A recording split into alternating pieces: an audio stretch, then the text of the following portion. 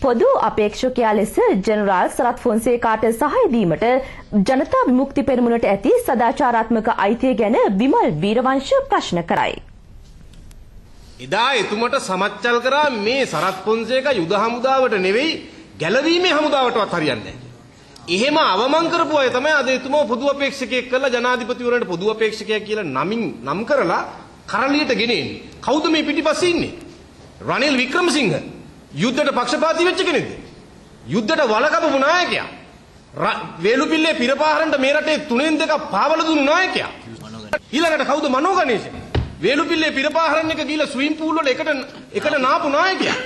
පොංගු තමිල් වලට ගිහිල්ලා මේ දෙමළ ඊළම හදන්න ඕනේ කියපු නායකයා. කොහොමද මේ මනෝ ගණේෂුනි සරත් ෆොන්සේකා එක වේදිකාවකට හිටගන්නේ?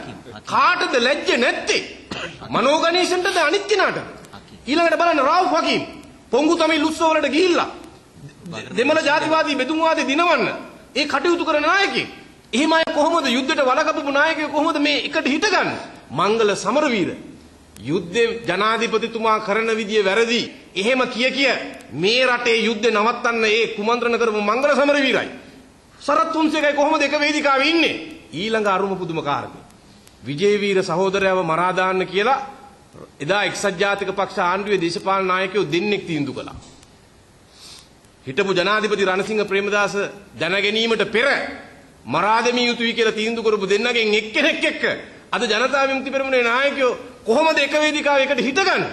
දෙයි හාමුදුරුවනේ එක්සත් ජාතික පක්ෂෙත් එක්ක එක වේදිකාවකට පොදු අපේක්ෂකයා නෙවෙයි ලෝකෙටම පොදු කෙනාව ඉස්සරහින් තියාගෙන උනත් ඒ මිනිමරුවන් සමග එක වේදිකාවකට හිටගන්න ජනතා විමුක්ති පෙරමුණේ නායකයන්ට ලැජ්ජ නැද්ද?